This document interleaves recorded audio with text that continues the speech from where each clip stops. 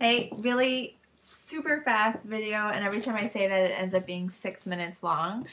But um, I went to a Weight Watchers meeting because I just wanted to learn about the new um, program that they have. I'm not so sure that I'm going to do it, but it sort of got me thinking again about hidden calories and, uh, you know, how you basically don't realize what you're taking in every day. Like you just look at the big picture, but you're not really looking at all the little things and how they add up.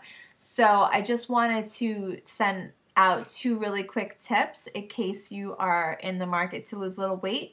Um, number one, and I've mentioned this before on my blog, what I do is whenever I start cooking, whenever I cook grilled chicken, I always start off with a tablespoon of olive oil, and that's fine but I never, if it looks like I need to add a little bit more, I actually add black tea.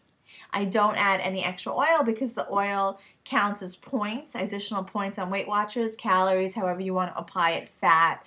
Um, but tea is zero everything. So if you need a little extra something to saute, to brown your chicken, believe it or not, black tea works. Uh, I just brew a pot, I keep it in my fridge, and then I go ahead and I use it when I'm cooking. It works. I've, I've done it since 2005. Trust me, I'm not making it up. It's awesome.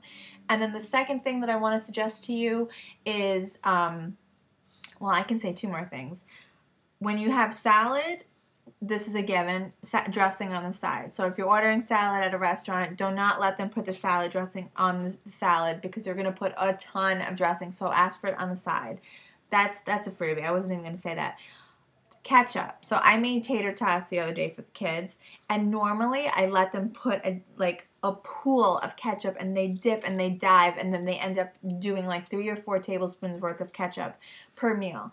And what I started doing is I started just putting, sprinkling enough ketchup on each tater tot for them to eat and have the ketchup flavor on top of the of their of their starch. And in all in, it's about a tablespoon. They have enough ketchup on their tater tot slash french fries slash whatever it is that you're giving them and they're not exceeding their caloric intake, this applies to you, it applies to your kids, it applies to whoever it is, by a condiment. Like, why do I want to add an extra 50, 60 calories, even 100 calories? My kids can go through eight tablespoons of ketchup in, in one sitting. They are disgusting with ketchup.